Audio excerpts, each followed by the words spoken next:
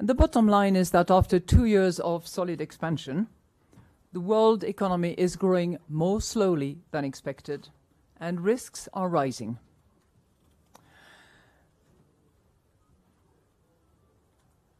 But even as the economy continues to move ahead, as I said, it is facing significantly higher risks, some of them actually related to policy.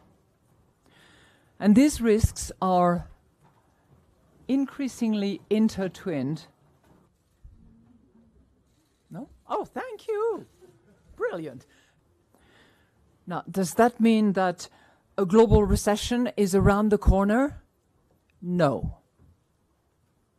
But the risk of a sharper decline in global growth has certainly increased. Add to this